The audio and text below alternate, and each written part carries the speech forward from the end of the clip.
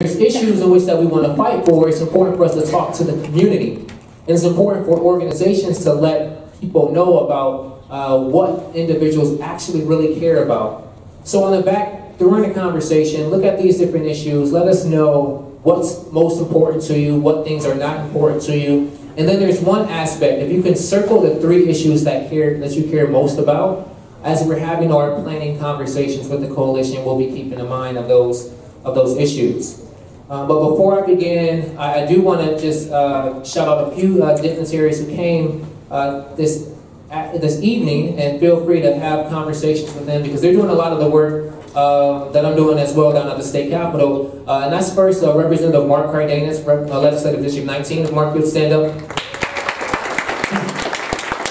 We also have Representative Ray Martinez from Legislative District 30. We have uh, Representative Isela Blanc from Legislative District 26. And right now in the city of Phoenix, there's a there is only one contested there's only one contested race for city council. Um, and we have uh, we're lucky enough to have Kevin Patterson here, um, who is running in legislative and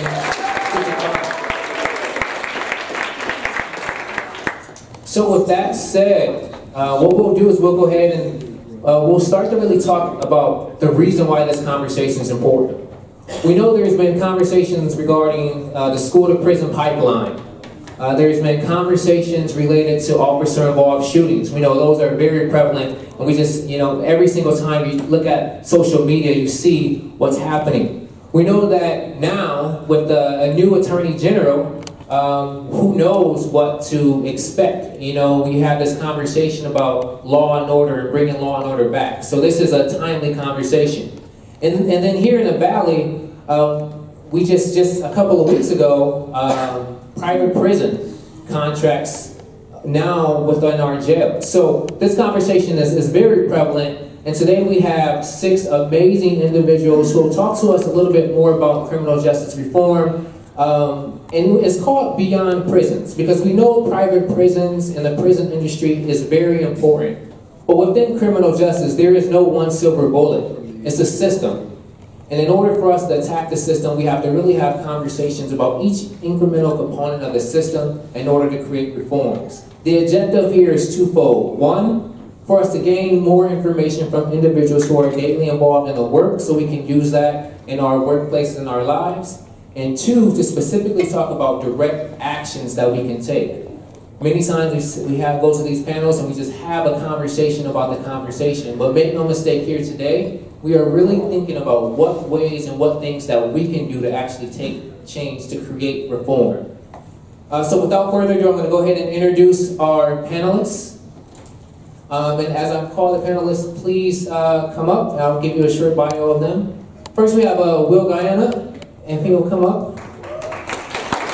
So we'll join the ACLU as a policy um, director in June 2015. He's responsible for lobbying the Arizona legislature on a broad range of civil liberties issues and leading key policy and education activities at the local level, especially in the areas of immigration rights and police accountability. Prior to joining the ACLU, he worked as a staff attorney with the Arizona Coalition to End Sexual and Domestic Violence and completed a fellowship at the Arizona Center for Disability Law. Was a graduate of the Sandra Day, O'Ken the Sandra Day O'Connor College of Law at Arizona State. Will.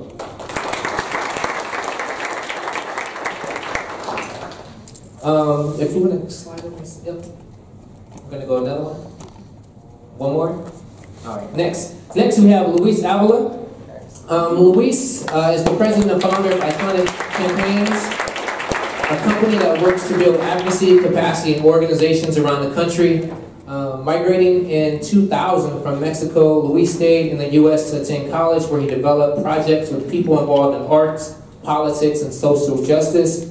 In 2004, Luis learned about voting rights in Jackson, Mississippi as part of the American Freedom Summer Program. He collaborated with organizers and leaders to advocate for the DREAM Act, fight against SB 1070, and challenging Sheriff Joe Arpaio's discriminatory practices in Arizona. Um, Luis is part of so many different organizations, including the National Council for La Raza and the New Teacher Project. A dynamic individual, I'm sure you will gain a lot from him. So again, Luis Avila. Next, we have uh, Chanel Poe. Over the past decade, Chanel has been a champion for communities, children, families, and folks alike. As a young activist hailing from Detroit, Ms. Poe experienced firsthand the daunting challenges that can discourage individuals, especially those without professional, uh, political, or policy backgrounds, resources, and an influential Rolodex.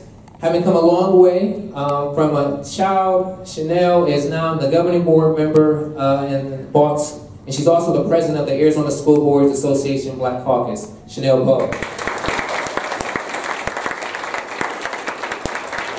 Now next we have Katie, and I'm gonna mess up her last name, but Katie Puzauskas. Um, Katie is the supervising legal clinic attorney for a post-conviction clinic at the Sandra Day O'Connor College of Law at Arizona State University. Uh, Katie is also the former executive director of the Arizona Justice Project, a nonprofit organization that represents indigent Arizona inmates who have been wrongfully convicted or suffered uh, manifest injustice. Um, after graduating from Howard University School of Law in 2008, Katie started working with the Justice Project as an assistant to the executive director, um, Katie Puzauskas.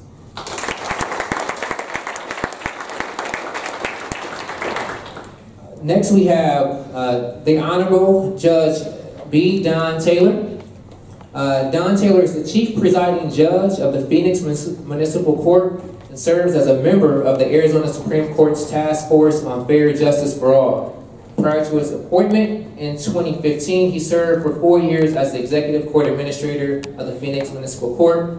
Before entering the field of court administration, he practiced law as a prosecutor in Arizona and legal officer at the International Criminal Tribunal for former Yugoslavia in The Hague. The Honorable Judge Taylor.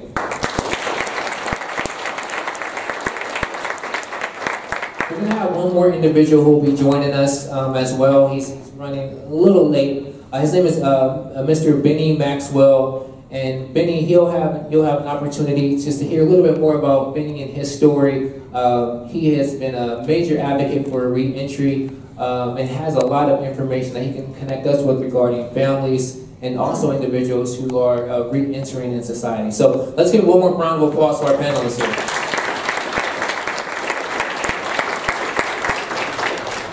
All right, so we're going to go ahead and get started. So, given the stark statistics, uh, it's not surprising that much of the discussion around fixing the criminal justice system really has focused on mass incarceration. About 2.2 million Americans are now behind bars. Uh, and federal, state, and local jurisdictions spend about $80 billion a year keeping them there. At the same time, we know that incarceration disproportionately affects the poor and communities of color. Why African Americans and Latinos make up 30% of our population, they make up 60% of inmates. But this crucial discussion misses another aspect of our criminal justice system, and that is specifically around the growing use of monetary payments such as fines, fees, and bail. So the use of fines and fees has grown dramatically in the past three decades. In 1986, 12% of those individuals incarcerated were also fined, uh, were, were, fined, uh, but by 2004, by 2004, that number had almost tripled. Um, Two thirds of all prison inmates now have criminal justice debts. And also with that, we have 44 states that charge individuals to be on probation or parole.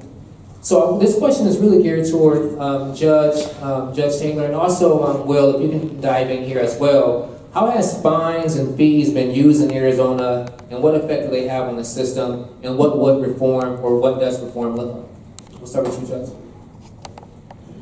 The truth is, they've been used uh, poorly. Is the best way to put it. Let me let me go back a bit. You know, there's probably no one in the room who doesn't, um, who, hasn't seen really the wake-up call that I think um, the, uh, the, the, court systems across the country um, have had. Specifically, really what set it off was uh, was Ferguson. Um, and courts began to look at what was happening. Part of what came out of that was not just the DOJ's report on, um, on what happened in Ferguson, but uh, a big report that the National Center for State Courts went in and did on the municipal court in Ferguson and the role that it played.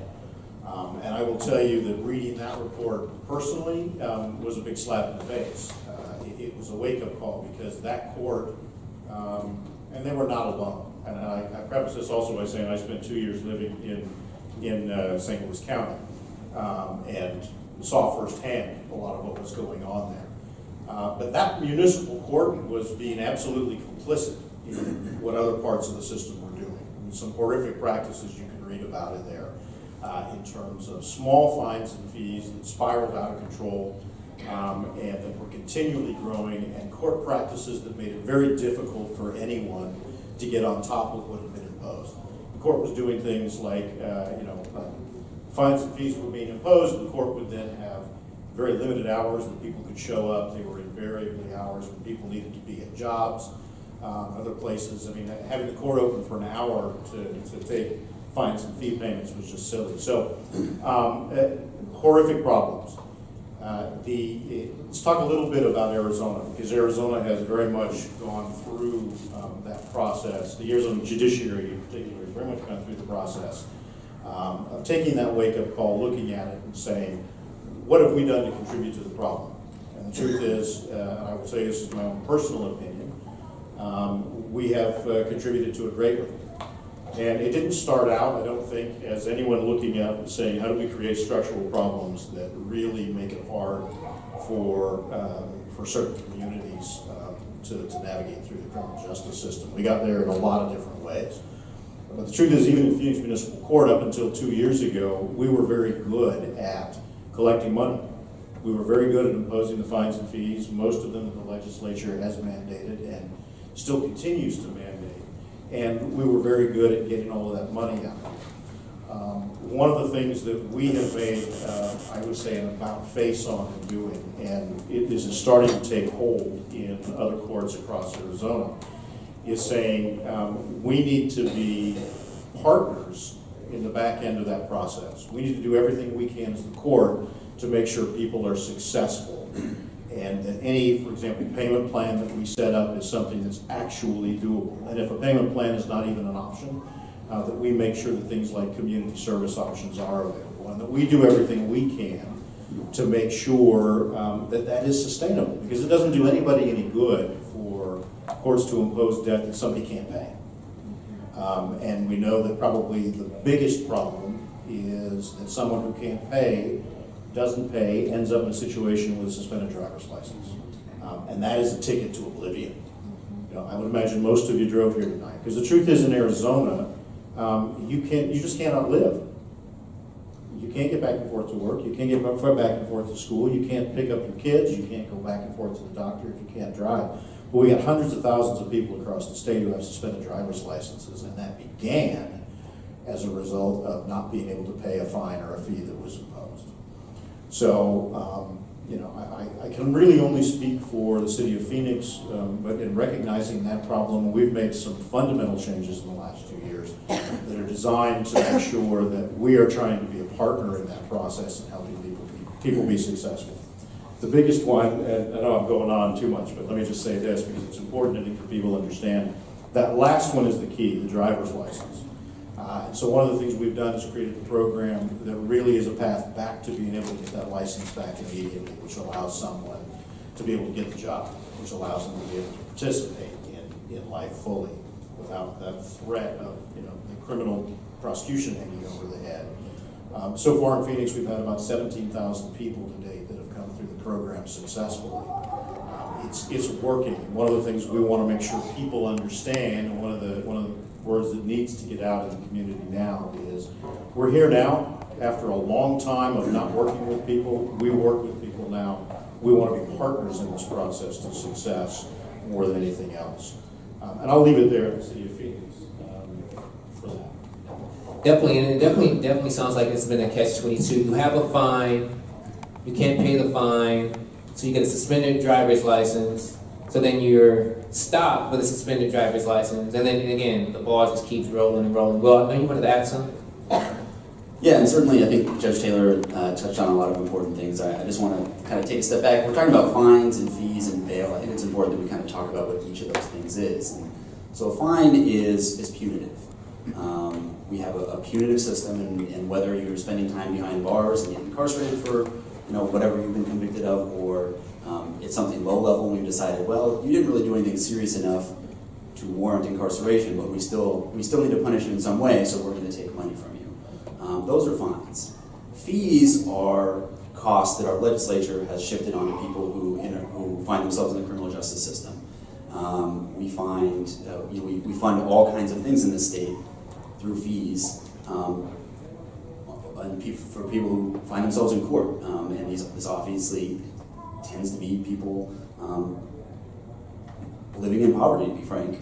Um, and so we're shifting costs as a state um, from taxpayers generally onto people with very low incomes. Um, and finally, bail is money for freedom. It's a price you have to pay if you don't want to be behind bars. Once again, the, you know, the thing these, all three of these things have in common is that they disproportionately impact people living in poverty. Um, if you don't have the money to pay your bail, you're staying behind bars. If you do, you're free. Um, if you don't have the money to pay your fines and fees, we're going to you know, suspend your driver's license. We are going to send that to a private debt collection. Um, we're going to impose late fees, and we're going to all these things. So obviously, this is a system that disproportionately impacts um, people living in poverty. You know, Megan Cassidy of the Arizona Republic did a great series last year on this issue of fines and fees. And she has a story called How a $95 Speeding Ticket Turns into a $243 Obligation. Um, that original fine is $95, but once you go to court, you find you've got to pay for all kinds of things. You've got to pay uh, for a probation fund. You have to pay um, into the Criminal Justice Enhancement Fund, which goes to the Prosecutors Association, who then spend that money, our legislature, lobbying for harder laws for new fines and fees, to lobby against bail reform and those things. People in the criminal justice system are paying for prosecutors to go down there and lobby for these things. Um, so it's, it's a terrible cycle, and, and you know, Judge Taylor, it was mentioned he was on the, the Fair Justice for All task force that the Supreme Court put together. Um, and that, out of that task force came some great recommendations. The, the elimination of cash bail, um, giving judges discretion to you know, waive and mitigate fines and fees when necessary. Um, and, and so you know, what he said was, you know, I think the judiciary has stepped up and done our part here. And he's right. Um, who hasn't stepped up is our legislature. There were bills in front of our legislature this year that came out of that task force um, that didn't go anywhere. Um, they, they made it out of the Senate. When they got over the House side, um, a specific legislator held those bills up and refused to comment on why he wouldn't let them go through his committee. Um, just you know, speculating here, but I'm guessing you know some of those fines and fees that went to pay for certain lobbyists is a big reason why those bills didn't move. Um, and, and, so you know it's it's a problem that, has been. It disproportionately impacts people of color. It disproportionately impacts um, people with low income, with low means. Um, and it really, the solution is legislative at this point. The, the, there's only so much that courts can do. It's statutes need to be changed, and it's it's on the legislature to make some changes here. Definitely, and you talked a little bit about the elimination of, of cash uh, bail, right? And we know that right, right now, within the last decade, the prison population, or the jail population, has increased by nearly 60%, primarily because, again, individuals, if you don't have the ability to pay for bail, then you are you're sitting there um, in, in jail. So, uh, and, and, and Judge, uh, if you could just talk a little bit, what was that conversation like when you talked about sort of like the elimination of uh, cash bail?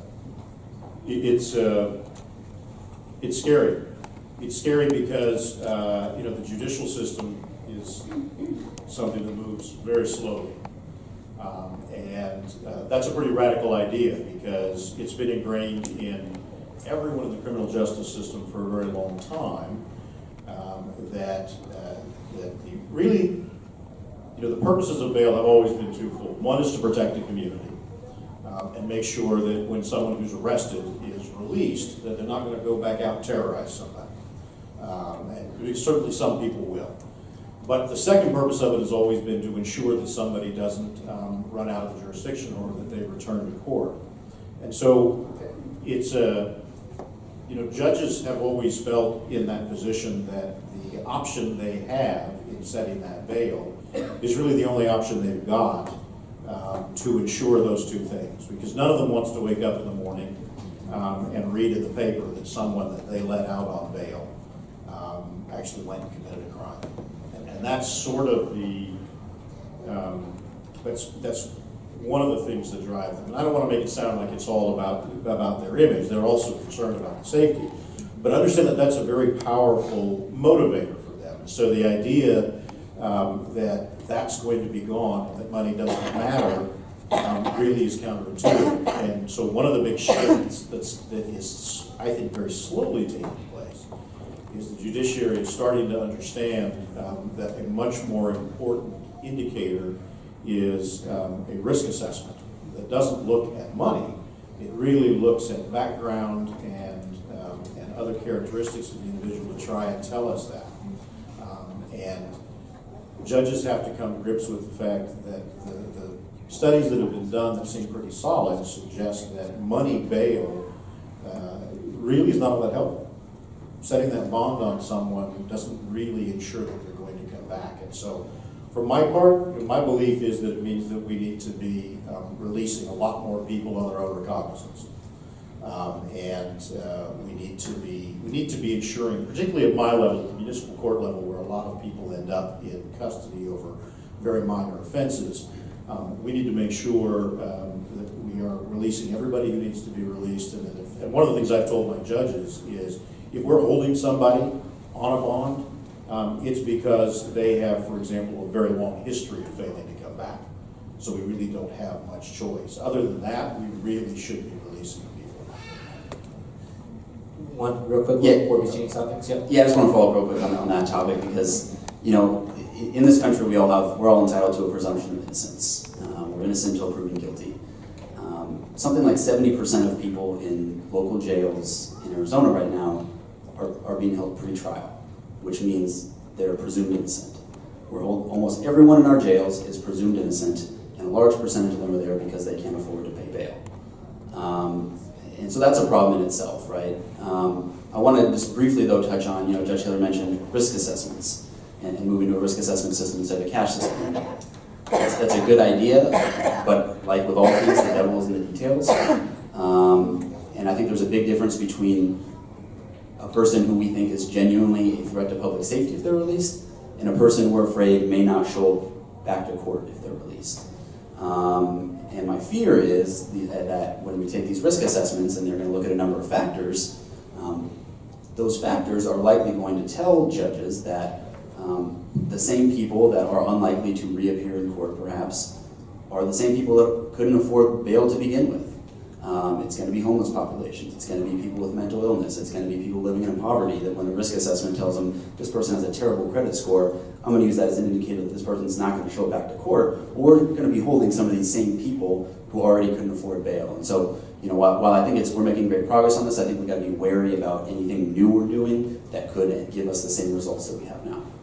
So one of the big topics locally and nationally has really centered around uh, school to prison pipeline. Raise your hand if you've heard, heard of that before. School to prison pipeline. A lot of us, right? Um, we know definitely when we talk about you know justice issues within our schools in the state and across the country, that's a big that's a big conversation. Uh, so so Luis, um, when we say school to prison pipeline, what does that mean, and what what have you found? Um, thank you, everyone. Thank you for the time. Thank you for being here today. Um, it's an honor to be speaking to you today. And I, I, I, I think that it's sometimes this thing or this term called pipeline. Uh, we start thinking that people are take a long time to go from school to prison, right? Um, in many times, I call the school to prison lobby because it actually could happen the same day that the kid can get arrested in school. So, for example, 65% of the referrals for arrests in schools are to African American students in Maricopa County. 65%. Uh, when the population of African American far uh, is far less than that. Right? For Latinos, it's about 36% uh, the risk of being arrested at a school. So when we're talking about the school to prison pipeline, sometimes we think that this happens in a long term, but in reality, it could be happening the same day that the kid could have brought a pocket knife that he found outside of school. Another thing we have to remember is that in Arizona, kids can be arrested as young as eight years old. and they can be held uh, in juvenile detention as, as young as eight years old. we do have uh, still really harsh policies on juvenile detention, including uh, the new sheriff uh, uh, Penzone's uh, jurisdiction or prison or detention facility for juveniles that still shackles kids when they are uh, in classroom facilities or moved from one room to another. So we have really serious and draconian problems here in Arizona when we're talking about juvenile detention. Uh, not only as it relates to the education system, but also as the way that juveniles are uh, inter inter interacting with the system. A, a, couple of things that I want to uh, mention before uh, kind of describing this prison pipeline, again, uh, Representative Bolding, is that the number one reason that um, juvenile de defenders uh, say that kids enter the juvenile system is because of truancy um, or because of curfew. So either because kids are not in school or because they're not at home at the times they have to be. Unfortunately, this is the number one reason why kids are entering the juvenile justice system. And the number one reason why they're coming back, it's usually marijuana possession, um, which it also could be uh, charged for as a serious offense for kids and could spiral, of course, this in the record of children uh, and juveniles for a long time. The school to prison pipeline, it's really the interaction and the mirroring of schools kind of trying to uh, have these really harsh policies and practices that mirror the justice system in schools. Things like having police officers in schools, uh, being able to discipline, discipline kids. It's no uh, surprise that, for example, uh, school uh, arrests have increased over 400% since the 1970s when we started the war on drugs. Uh, it's not surprised that uh, juvenile detention and incarceration has increased almost 300% in the last 20 years in communities of color. Uh, or that the major reason for kids to being arresting, arrested out of school is because they are suspended out of school. African American kids in Maricopa County, in, particularly in charter schools in Maricopa County, are eight times more likely to be suspended out of school than their white peers compared to uh, Latino kids who are almost six times more likely to be suspended than their white peers in charter high schools.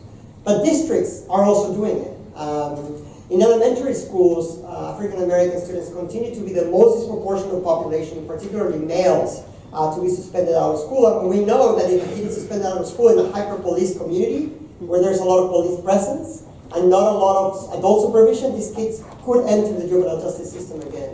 So it's this kind of relationship between the education system and the juvenile justice system that have kind of fed off each other. We've kind of made children of color, special ed kids, and ELL kids disposable. Now we are creating a system of winners and losers, of kids who are exemplary and we want to hire and celebrate them and applaud them, and kids that if we find them challenging, we want to dispose of them as hard as soon as possible. We need more counselors in schools. We need better teachers that are prepared, that are trained, and we need more data systems that tell us these things. Because we have no idea what's happening in our schools outside of the anecdotes that we get. We need more data for transparency as well to be able to talk about this school to prison pipeline. That in so many states around the country, they actually have factual information on an ongoing basis, and in Arizona, it's just not in the statute. So the legislature has never forced the districts to actually release this data on an ongoing basis. So we have serious problems to solve this school to prison pipeline issue uh, that it's really uh, urgent, particularly in areas like the neighborhood where, where we are right now. The Roosevelt School District is one of the most disproportionate school districts in the Maricopa County area. The Mesa School District is one of the most disproportionate school districts, and it's the largest school district uh, in the state of Arizona. We have serious issues, and we have to talk about them uh, as soon as possible.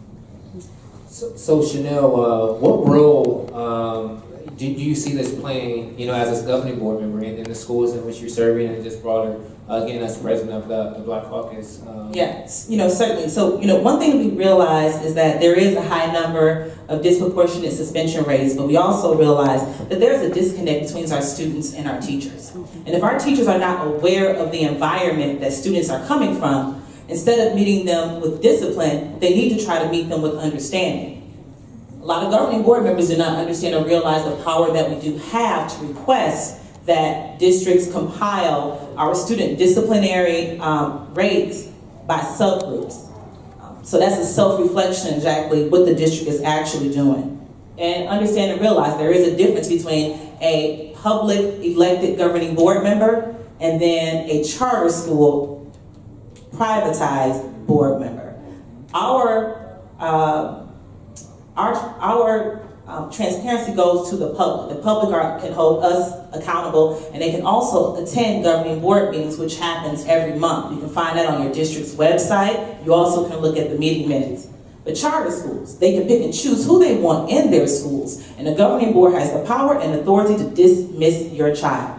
I'm also a parent of a 17-year-old who I have been glamorized by charter schools at one point in time, and my son was one of those students that bought a Swiss Army knife to school because he thought it was cool. He wanted his friends to think that he was cool, and guess what? They dropped him real quick. No matter amount of tears, and as a parent, I felt hopeless. I feel like there are a lot of other parents out there that too feel hopeless and feel like they have nowhere to go. So getting involved at your local school districts is one of the ways um, that you know you can help make a difference. Also, we're looking at policy. If your school district has zero tolerance policies, that's dangerous. They could put kids out at any step of the way. So if you are in a school district that has zero tolerance policies, I would encourage you to organize and mobilize your community and attend those district meetings and ask that they remove the policy. Right now, um, my school district, the Balsz School District, we, you know, this conversation about equity started in 2015. It was something that was never brought to the board's attention.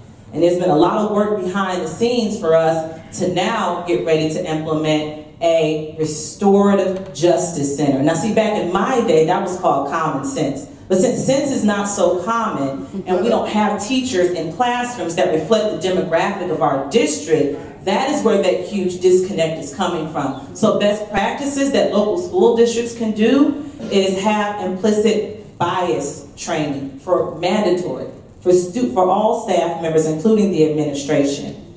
Another thing that they can do is try to, well, I would say this. We don't have um, school resource officers in our district, which is very, um, school resource officers are very problematic. Uh, we see more so black and brown students are being arrested at 98%. We're having these school resource officers in our district. Your assistant principal is the disciplinarian, not a police officer. Um, so if you have a school resource officers in your local district, there is no data. Do you hear me? Since they've been in place since 1994, there is zero data that shows that student behavior enhances with having a police officer on campus. Thank you for that, Chanel. Um, Katie, I, I want to turn to you because you, you work with uh, a, a, really uh, group uh, population that often a lot of people don't don't talk too much about, and that's juveniles charged as adults. So um, within that work, can you speak a little bit more to, to your work and, and the, the pertinent issues that are taking place with that? Sure. Um, so I work with juvenile offenders in the adult system. Um, all of the individuals I work with are in adult prison. Um, most of them have been sentenced to life in prison. Some of them have life with the possibility of parole. Some of them have natural life and will never get out. So part of what I've been doing um, over the past four years is one, to um, identify who these individuals are. So who are the juvenile um, lifers or who are the juvenile offenders in our adult system? Um, of those juvenile offenders, which ones are serving, we call it natural life, which is life without parole. So those individuals um, right now will never get out. They will die in prison. It's a death sentence.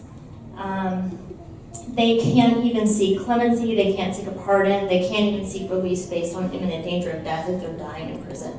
Um, so it is, it's a death sentence.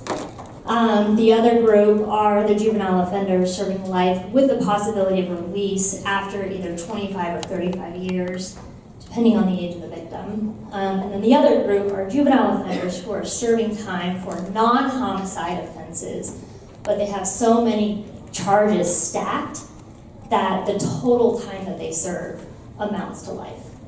Um, so right now in the system, we've identified um, 35 juvenile offenders serving life without parole, um, which is natural life.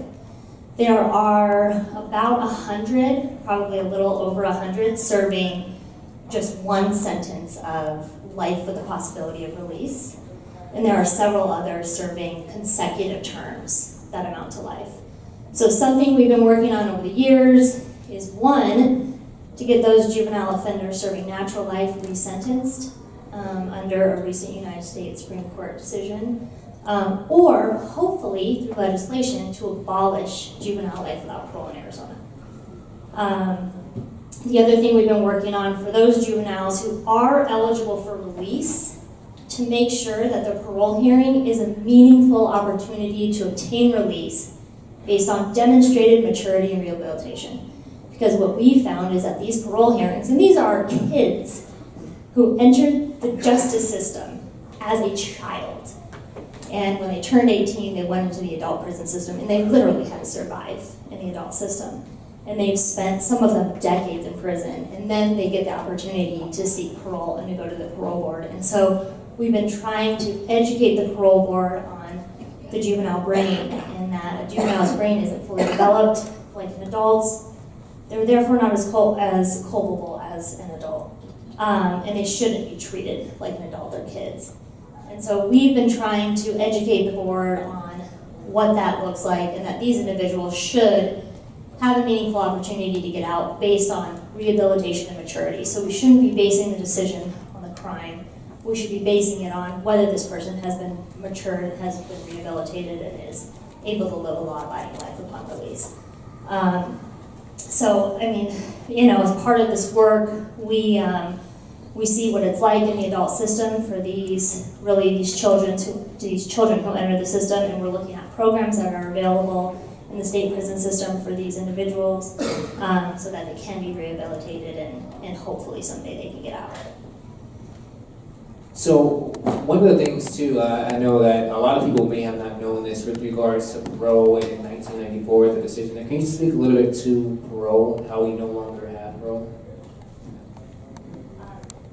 So on, I don't know if any of you know this, but on January 1 of 1994, parole was abolished in the state of Arizona um, for all offenses for all people.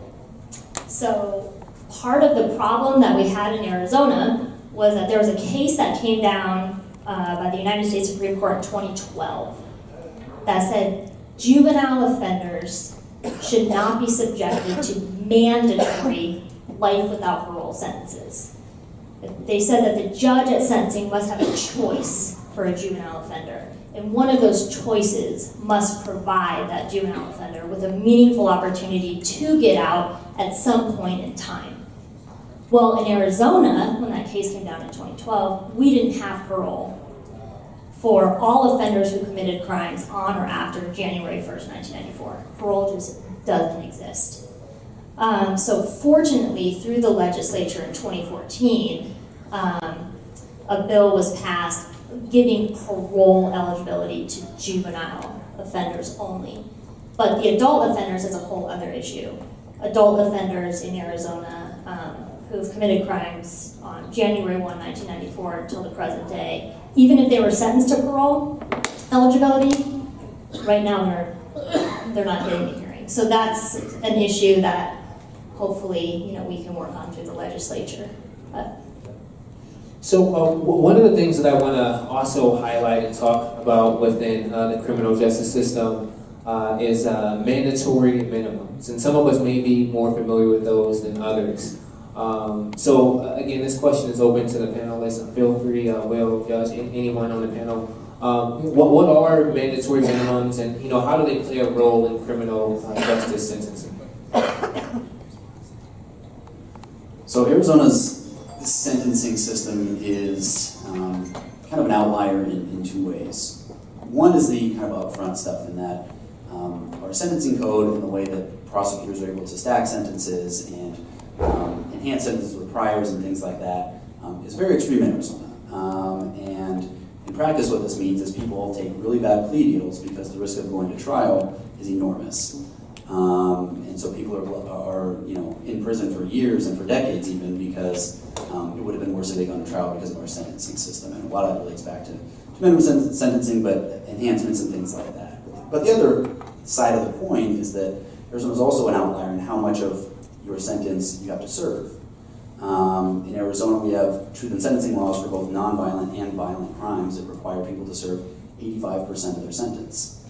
Um, Arizona, I believe, is either the only or one of only two or three states um, that has maintained that 85% threshold for both those categories of crimes, violent and nonviolent. Um, Some states have, um, there's, there are states where you only have to serve half your sentence even for violent offenses. And in Arizona, um, if you stole something and you're in prison, you're serving 85% of your sentence. Um, and so those two things kind of work in conjunction with each other to and, and lead to Arizona having the sixth highest incarceration rate in the country. Um, we currently have, I think, close to 43,000 people in, in state custody here in Arizona, um, in addition to, I don't know, over 10,000 people in jails, I think. Um, and you know, we now spend over a billion dollars a year on our State Department of Corrections. Um, at the same, if you look at the same time as correction spending has gone up over the past couple decades, where that our spending as a state has declined is in our universities. Um, it used to be a, the fact that in Arizona we spent you know a billion dollars on our university system every year. That number is probably I think between 600 and 700 million now. We used to spend between 600 and 700 million on our prison system. That number is now 1.1 billion. So you can see that you know, with these policies in place, Arizona, the number of people incarcerated in Arizona continues to grow, and until we come back and address these sentencing issues, um, that'll continue to be the case. If I could just say one, you know, that, that addresses, I think, the felony level quite well. Um, but one of the things that sometimes doesn't get talked about is the mandatory minimum at the misdemeanor level um, that can have really horrific effects. Um, and specifically in Arizona, um, you're talking about mandatory minimum fines that by the time the mandatory minimum fees get added on, become um, outreach for many people. So for example, a, a first offense, um, driving without insurance, the legislature has decided is going to get you a fine that's close to $1,000. It's a civil offense, you're never going to serve any jail time, but the, the judge doesn't have um, any discretion. That's $1,000. And, and you want to talk about uh, another sort of mini pipeline, but it's the one that leads directly to the fines fees debt servitude that Will was talking about. Um, it's that's very easy for someone who who by and large in my experience didn't have the insurance not because they just felt like taking their chances. They didn't have the insurance because it's expensive, particularly in Arizona. They didn't have the means. That's particularly a person in a situation who's going to find that thousand dollars to be uh, something incredibly difficult to get around. And so what that leads to is a failure to pay that amount, and as Representative Bolding was just saying, currently in Arizona, uh, the court doesn't even have a choice. If you stop paying or if you fail to appear on that, we have to notify MVD. MVD has to suspend your license. Driving on a suspended license is a criminal charge. You get pulled over on that, you can end up in jail. More costs. You now have a criminal record. So it can start out with something as simple seeming as driving without insurance um, and very quickly escalate into someone who has a criminal record um, and can't drive, has more fines and fees on a mandatory level added in, um, and, and finds themselves in a world of hurt. Wow. Um, and I think that that's one of the things in which is, is so important to our system. And, and you, you guys talked a little bit about policy and how those policies that, again, the legislature may or may have not enacted really ties uh, judges' hands uh, and, and, things of that nature. Um, as you guys are thinking through, uh, and, and we'll, we'll, circle back around to this, I do want to talk a little bit about some policies that um, you believe that we can, we should definitely begin to, to tackle um, as, as citizens, as individuals in, in, in, your field. What are some of the policies you see that uh, we should really be fighting for and pushing for? Yes, I mentioned it earlier. Any school district that has a zero tolerance policy, they need to eradicate that. That's going to take um, activism from the community to stand up, but also start reaching out to some of your governing board members. All this information is public information. Once you log on uh, to your school district site, also to the school that your child or grandchildren are attending, um, you also want to make sure that you know you are showing up. Particularly, I've read some stories lately about Black girls who are four times as likely to get suspended, feel free to look up Let Her Learn, which is a national campaign uh, by the National Women's Law League, uh, Law Council out of Washington, D.C. Um, girls who have their hair like mine, the way it grows out of my head, naturally. Students who have locks. Some of the terminology that you may hear used is that um, the hair is not well organized or kept Um, again, that goes to show that there uh, is a disconnect between administration and understanding the culturally diverse schools um, that we serve. Um, another thing in policy um, is also looking at um, the fighting. Sometimes students end up getting into altercations with other students. It's inevitable to happen, especially at the K through 8 level. But sometimes these students are being bullied and they feel as if the school district is not doing anything about that. If you're a parent and you feel as if your child is being bullied and the school is not meeting your needs, you need to bring that to the governing board level. A lot of times we don't get to hear a lot of these stories because they don't even get past administration. They don't get to us at the governing board level. Um, we welcome anybody uh, to come and speak at governing board meetings, doing public comment, or also on a particular agenda item. But any policy that is alluding to natural hair, braids, uh, locks in their hair, those things can be um, detrimental. There is um, there was also recently, I'm not sure if you guys caught the article out of Texas, a school in Texas provided an award to a young black student and said she's most likely to get along with white people. So let's think about what that does to self-confidence and who approves something like that. I know that we saw, I believe it was in Missouri, a student, um, a teacher told students to let's treat back in the day as if it was slavery days and we're selling our students on an auction block and it's 2017. Um, again, it's going to have not only cultural conscious training, uh, but there also needs to be mandatory implicit bias and the system is going to push back. That's why it takes for parents and concerned members of the community to start showing up. If you pay taxes, you are a community stakeholder. You don't necessarily need to have students in a district, but our babies need voices that are there to help advocate for them while we have parents who are working two and three jobs just to make ends meet. Another thing that we're working on, you can hear how things kind of coincide, is that sometimes students are not eating in the morning and they come to school very hungry. We see students who line up 30 minutes before the school door even open because they're looking forward to that breakfast. We don't want students to be punished if they come in the classroom at lunchtime and they're not finished eating. Or if they're sitting in a lunchroom, the teachers are trying to um, ask them to throw away their lunch early. Because uh, we know that if students cannot concentrate, there is no way that they can think about learning. Um, and another thing too we want to keep in mind is that the um, adverse childhood experiences, that's something that we uh, consider ACEs. Marsha Stanton from Phoenix Children's Hospital is someone who is helping lead that initiative. But again, if your local governing board is not asking about it, it ain't happening.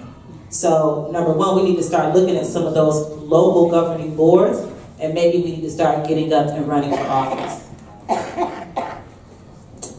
Um, one, one thing also I want to throw to the panel, and after this question, we're going to open it up to questions that you may have in the audience. Because anytime we have uh, a number of people here, uh, it's really a, a, great opportunity for us to give and get, right? Give information, but also get information, um, and, and, see if there's things that are top of mind that you are uh, really that you really care about that we can uh, discuss. So I'm to ask one question, and then after that, we're going to uh, throw it out to the audience if there's any questions that you may have. But one thing that's very important that um, uh, it's a major topic that you know I just remember uh, a long time ago studying about this, and that was prosecutorial discretion. And some people here may know what that means, some people may not.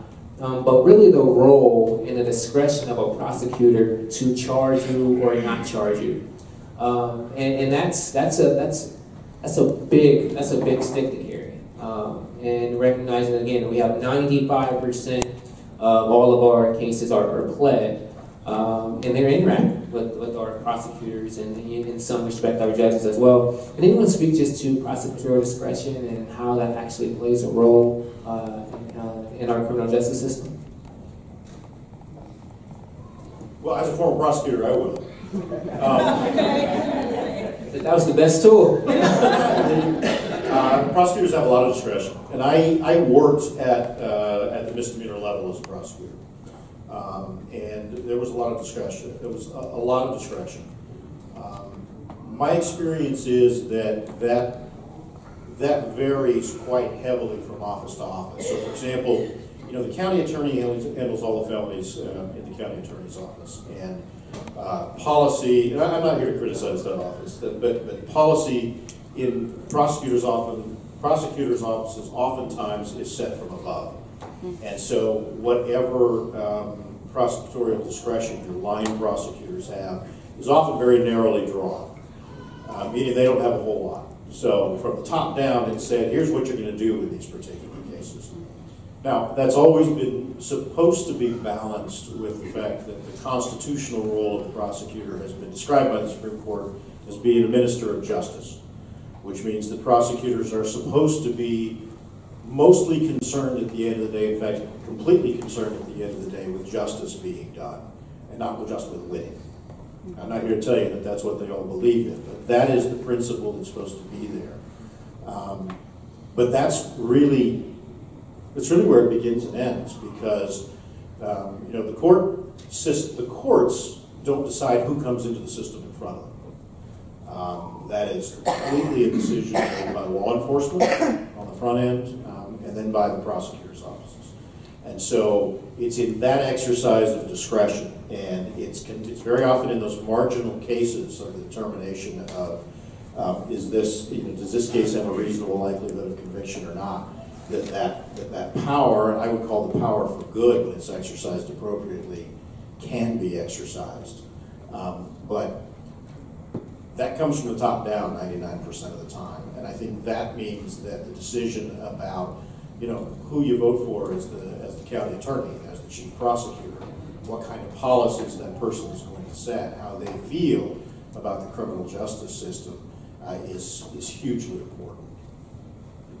So just to follow up real quick, um, you know, prosecutorial, prosecutorial discretion goes beyond just whether or not to charge someone, um, but it's also a matter of what to charge them with, how many things to charge them with, and what plea deals people are being given. And you know, in a system where 90-something percent of cases are decided through plea deals, that's super important. Um, and, and just to quickly follow up, you know, Judge Taylor just mentioned, you know, prosecutors are elected, they're accountable to voters. Um, but there is a problem about kind of who has to internalize the cost of prosecutorial behavior. Um, in Arizona, we elect prosecutors at the county level, right? Um, and each county has a county attorney, and that person sets the policy for those offices, and that person is ultimately accountable to voters who will decide if they like that or not. But when prosecutors, let's say, take a very aggressive approach, don't exercise discretion properly, and are sending a lot of people to our prisons, the cost of that isn't just placed on the voters of Maricopa County. The cost of that is placed on everyone in Arizona because as taxpayers, everyone in Arizona is paying for our prisons, not just the people in Maricopa County. And until we start to internalize those costs somehow at the county level, so that the people that are responsible for sending everyone, you know, the most people to our correction system, actually are incurring some of that cost at the same time, I don't think we're going to see much change in prosecutorial behavior. So I want to jump it out to anyone who has any questions. I've seen this uh, hand right there. Um, so do you mind grabbing uh, the mic right here and then?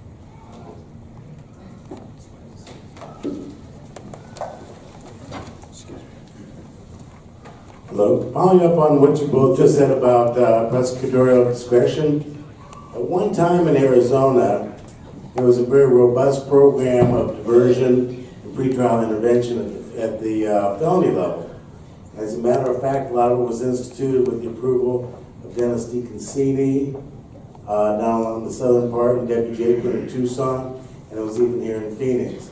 And so what you're talking about in terms of discretion, that's sounds to me fairly informal and not really institutionalized. There was at one time a very institutionalized system where many more cases never, or had the opportunity never to become uh, a formal criminal record for the individual. They had opportunities to, to work it off, to pay restitution, things of that nature, much more. And, and with the, the uh, assault against crime and the whatever time, 80s 90s, all that was washed away tremendous potential, I think. What do you see as the possibility, maybe with different county county's attorney, but for, for uh, a movement to have less incarceration through utilizing that very powerful tool at the county attorney level? diversion programs are, are great. They're win-wins um, when they work. Uh, but again, that whether or not it exists is completely at the discretion um, of the elected prosecutor. Or, uh, if we're talking about the level I work at, of the appointed, usually appointed, um, city prosecutor. And, you know, you've got twenty-six different municipalities in, in Maricopa County at the city level. Uh, I know we've had diversion programs, um, run in the, in Phoenix Municipal Court for a number of years. I can't tell you whether I've seen um, those sort of ebb and flow in the way that they've been used. Um, They can be very successful, but again, that's completely within the control of the prosecutor. And I know we touched on quickly, we talked about having that elected leadership. You guys should really research who's our county prosecutor right now. I've been in a room with this person, and they promise that they will never, ever prosecute a police officer who was involved in an officer-involved shootings. So when you look at that type of direction and guided leadership that is starting from the top, as we say, and how it trickled down to affect everyday people, we need to be a bit more mindful when we are filling out our ballots and when we have judges like 26 that are listed on the ballot, whether we are keeping these individuals on the bench or are we sending them their packing? Because about that time, we got um, elections coming up in about 30 days. Will be dropping in your mail. So if I were you, I would pay attention to that. One thing I do want to mention too, Reginald, is that we wouldn't want to be remiss to talk about the largest incarceration that is located in 8504 40 85040, which has the largest incarceration in the United States of America here in Phoenix. I'd like to uh, ask uh, any of the panelists, the judge or Will, um, re- regarding both of you have mentioned the elected prosecutor, prosecutors and then the appointed prosecutor at the city level. There, there's a lot of discussion that prosecutors should be appointed rather than elected because they want to appear tough on crime because they're going to go for another elected office. Any comments or thoughts? So yeah, that's, that's certainly something there's a lot of discussion about, and I think you know if you look at the way, for example, in Arizona, um, with our merit-based system for judges, um, it's a system where judges are essentially appointed, um, but at the same time, um, they're eventually accountable to voters, and the voters, you know, for those people that, that do flip over the ballot when, there's you know a bunch of judges listed, um, they are eventually accountable to voters, and I think there's a strong argument that. Um, do see people using, for example, the Maricopa County Attorney's Office or other prosecutorial offices as um, a way to advance a political career. You know, let's not forget that um, Bill Montgomery's predecessor in um, the Maricopa County Attorney's Office, who is now disbarred, by the way, um, ran for governor after that, right? Um, and so, yeah, there, there is a desire to satisfy the, the what people believe voters want, and as long as we have prosecutors who are elected and believe that voters want kind of quote unquote tough on crime policies, that's what they're going to get. Um, and so I think there is a strong argument for appointed prosecutors.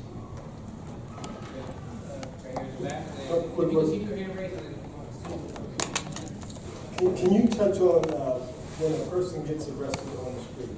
You hear an officer say, I'm charged. Um, Question again, um, when someone gets arrested on the street, you hear officers saying, I will charge you with this, and I'll charge you with that. How does that uh, get advanced? Because a lot of times officers seem like they're the judge, the jury, and the executioner on, on the street. But obviously, it goes up the chain a, a little bit, so I would like to get a better understanding of that. And then you also mentioned that there was forty-three thousand uh, incar- incarcerated individuals in the state of Arizona. A breakdown of uh, race, race or ethnicity of, of those groups? Thank you.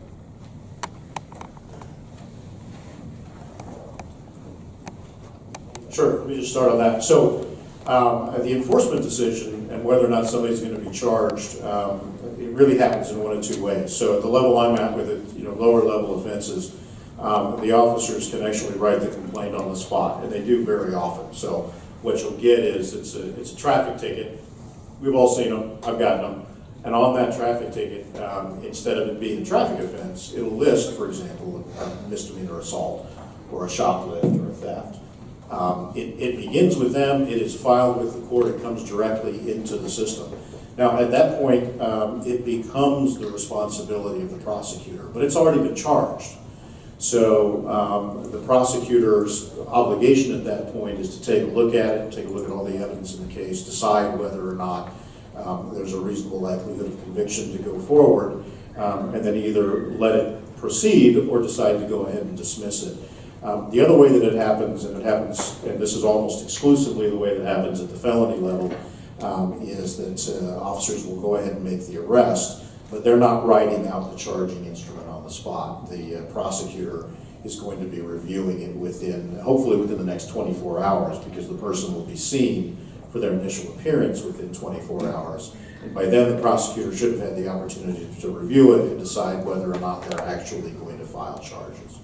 But to the, to the example that you mentioned, um, yes, there are things uh, that, the, that the police uh, absolutely start because they have the authority to, uh, to write that ticket, to charge that misdemeanor um, with, uh, with the paper. Yes.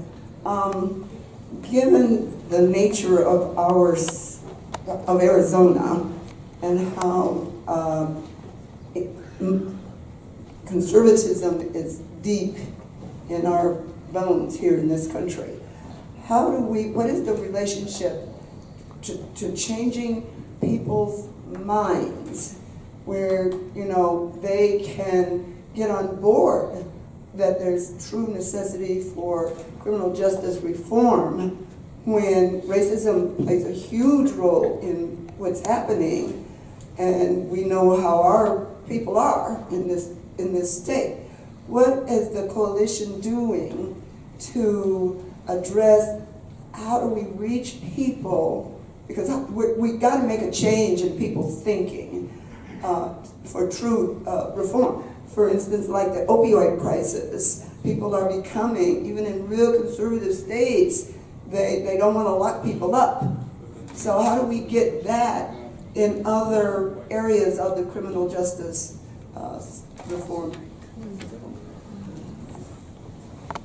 Well, I, I, I thank you for that for that question. I think it's a critical one. There has been efforts for critical uh, for criminal reform uh, in red states and conservative states around the country, and I think that one way that they've been able to uh, change policies or push for change has been creating coalitions uh, that are not fought by one group of people only, right? Uh, the campaign that we are that we are um, fighting for, called Demand to Learn, it's a campaign of the ACLU. Uh, the focus is to actually build capacity with communities of color, and that's where we're starting. So we are starting by giving all the data that we have available to African American communities, Native American communities, Latino communities, and special ed communities to show, uh, so we can learn uh, the, the, data and the way that the, the issue is impacting us. And what we're doing is we're asking actually leaders in these communities, what do you see in common with the other communities that are being impacted too? And what we're all realizing is that we've been actually being taught about division and conflict between each other for so long that we are not even able to talk about our same problems at the same table. That has to change and has to change immediately. And the reason it has to change is because if we actually put together the communities that are most impacted by the, by the broken uh, criminal justice system in Arizona, by the broken education system in Arizona, the broken healthcare system in Arizona, then we can make a real difference. So what I invite you to do is to uh, continue to look, look at the data that impacts our own communities, uh, continue to talk to other communities about how it impacts ourselves and what issues uh, we want to be see resolved. One question that uh, Representative Bolding asked, is, what are some policy solutions, right? And I've been actually really reluctant to come up with policy solutions because I think the answers are in rooms like this. So rather than me coming and saying we should do X, Y, and Z, what we want to do is have conversations with leaders like you, uh, with different communities and different backgrounds to ask what are the things that we need to be pushing for together. And one of the things that we're finding is that our communities are really wise. They are actually asking the right questions on the policy solutions when we are sitting together. When we are being informed, for example, that Native American kids that live ne next to reservations and going to district schools are up to 20 times more likely to enter in the juvenile justice incarcerate uh, uh, system, but nobody's actually fighting with them. So if they're fighting alone, they will never win. If we are fighting alone, we will never win. We have to create more bridges between our communities and being able to talk more about it because they've done it in other places. And the role of people like the judge who's sitting in this table is important, not just at the municipal level, but judges at every different, at every level uh, in the state have to be involved in this conversation because they are the only ones who can make sometimes the case that this is an economic burden for the state. Sometimes they don't listen to us, and unfortunately we have to be louder and we have to be uh, together as well.